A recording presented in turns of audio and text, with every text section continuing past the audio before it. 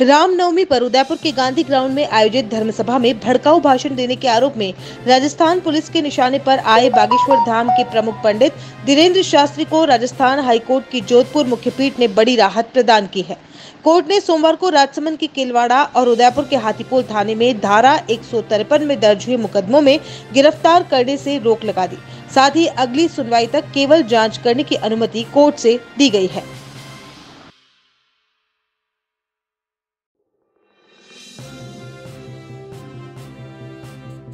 Of all types test, parvo and distemper treatment, any major and minor surgery. नववर्ष पर आपके द्वार आपके पेट्स को दिया जाने वाला शानदार तोहफा contact number nine four one double four two seven double six three